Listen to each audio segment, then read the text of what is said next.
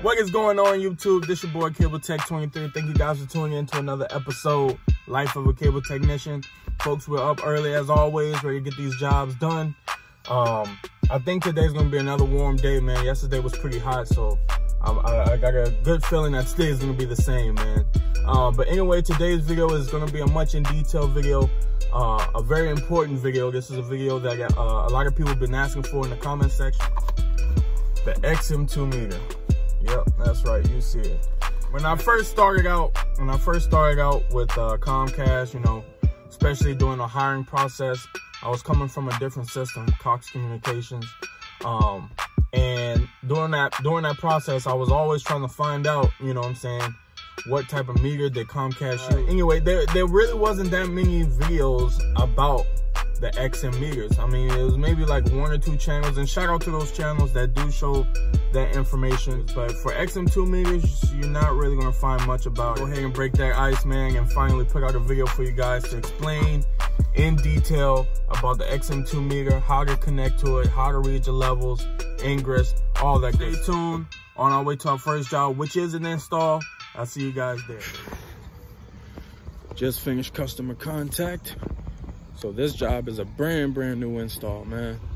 Um, we don't have no drop, we don't have no ground block, we don't have nothing here. So I'm here to put in everything. As you can see right here, there's no obstructions in the way, no trees, no bushes, none of that. So um, I'm gonna go ahead and run this drop real quick and uh, take you guys to the pole and um, get that meter information set up for you.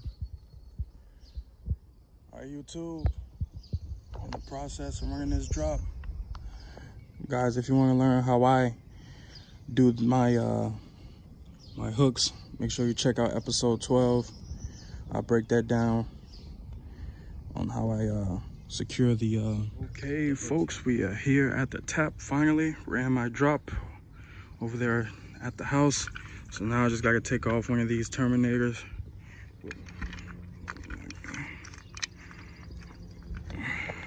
All right, YouTube, we are here at the tap. Got the meter locked in. Got the meter inside of the tap, ready to get some signals out of here. So before I get started and going into the system, I just want to give a brief overview of the meter itself.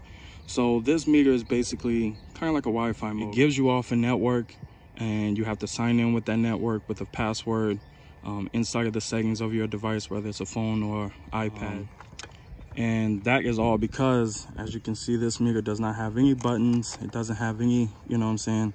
All it has is just a power button ethernet couple of usb ports and that is it. So um but yeah that's basically what it is. It's just a wi-fi modem.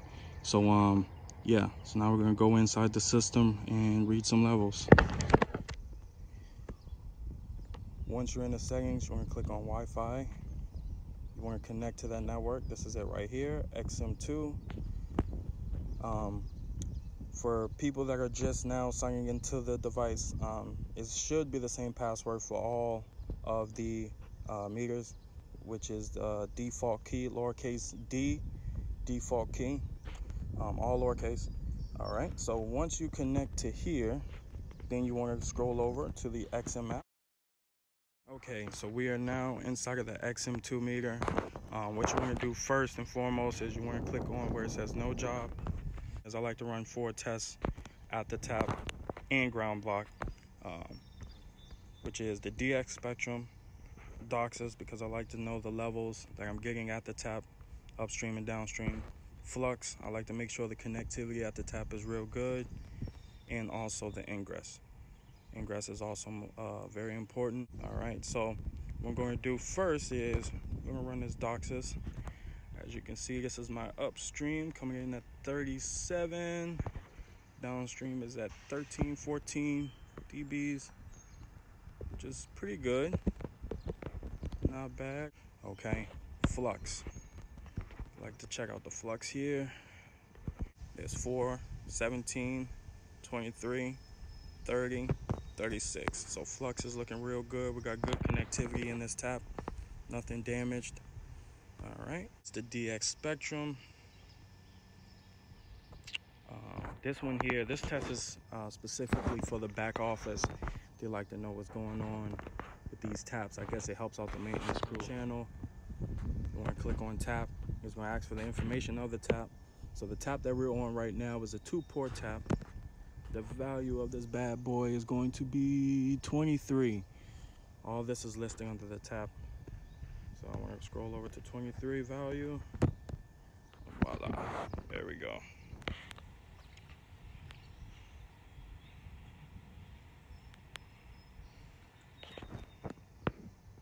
Let it do its thing.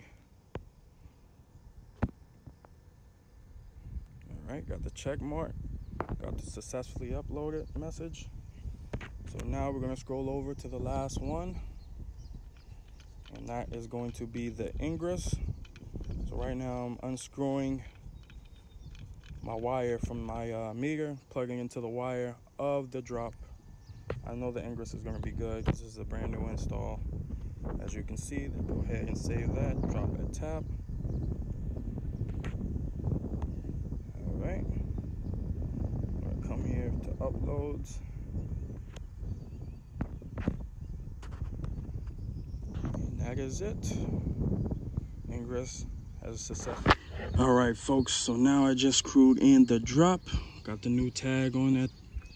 Got the new tag on it, 162, that's the address and we're going to continue on over inside of the basement and make more of the connections just ran the brand new drop is to the pole. No ground block nice and grounded. The ground tag. We're in business. Whew, been at this job for a while now man. Um freaking wall plate slowing me down. But before i finish up here folks i just want to show you guys the equipment. XB7 is what I'm putting in. Go ahead and put that in. Now the customer has an XB6 already, but he would like to get an XB7. So I'm gonna go ahead and do that for him. XB7 and also a DVR right here. So, all right, people, stay tuned. I'll let you guys know how it goes. And uh, yeah, finally got the job done, folks. Man, spent too much time than I expected. but I finally got it done. Um, so now we're gonna make our way to our next job, which is a 10 o'clock appointment. It's currently 11 o'clock right now. The next job should be pretty easy. Um, it's going to be a internet install. Um, so yeah, I'll see you guys there. Second job of the day. Another install, just internet, like I said earlier. Um, might have to do a little bit of work, but that's the pole that I'm going to right there. As you can see. All right, ready to go up. As you see, safety first. Cones out, ladder set up. Good to go, man. Now this job supposed to have a drop already, but uh, I guess we'll have to go up there to find out. Stay tuned. On my way up. All right, YouTube, here at the tap. Got my meter right here. So I found my line already.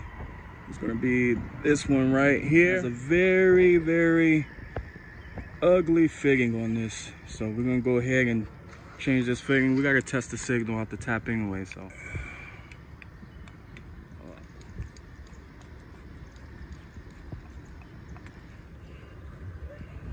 As you guys can see, I'm safely strapped. Safety is always first, guys. Before you do anything on this pole, make sure you're safely strapped. We all wanna go home to our families at the end of the day.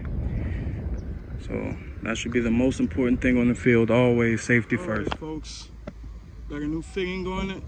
This is the line right here, right All there. Right. Got off the pole here at the ground block.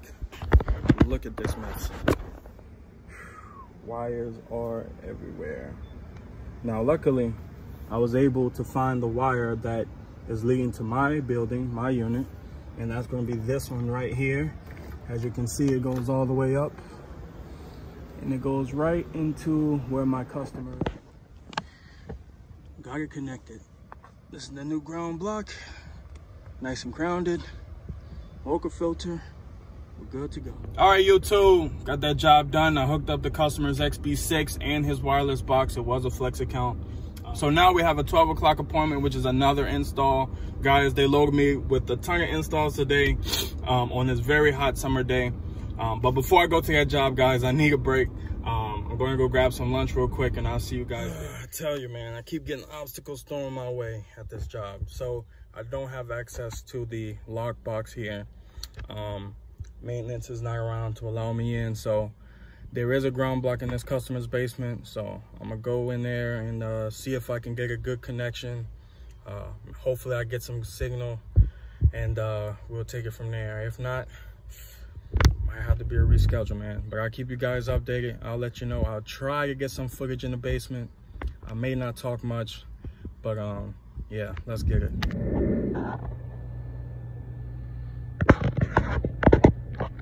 Man, I was very excited. I was able to get some signal in that basement, man. Uh, so basically after that, I went on ahead and traced down the line that I was gonna use to hook up that modem.